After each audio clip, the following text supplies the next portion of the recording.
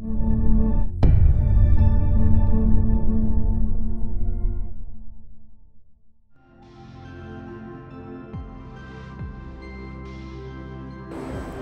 the smart factory of tomorrow, humans will be interacting with robots.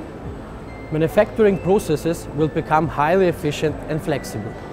The interaction of humans and robots requires a maximum level of safety and sensitivity. With which high level sensitivity a human-robot interaction is possible today, I'm going to show you now. Imagine any kind of serial production process. A robot moves workpieces from one to another point. High performance rates have to be realized and to ensure production quality, samples have to be taken. Just by using your hand, you can take a sample at any time you want. Highly sensitive sensors recognize every soft touch of the robot. The robot stops immediately and a safe interaction is possible. As fast as the robot stopped, it restarts the production process. Furthermore, a maximum level of safety is guaranteed. The robot works only within the defined working areas.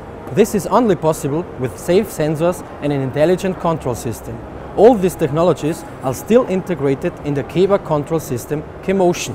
The scalable safety solution is one of various technologies which our complete automation system KEMotion offers. So with KEBA, human-robot interactions are no longer a vision.